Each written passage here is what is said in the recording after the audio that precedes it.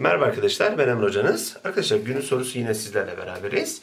Yukarıda grafik bir sınıftaki öğrencilerin ne diyor? Kan gruplarına göre sayısını göstermektedir. E, tamam.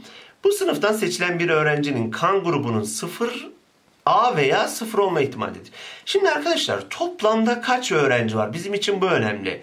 12 burada, 8 burada, 20, 4 burada, 26, 6 burada. 30 tane öğrenci var. A veya 0 dediğine göre hem A'yı hem de 0'ı toplamam lazım birbirine. A gelme ihtimalinde olan öğrenci 12. 0 gelme ihtimalinde olan öğrenci 6. E toplarsam 18 tane öğrenci vardır dersiniz. A ihtimali hesapladım.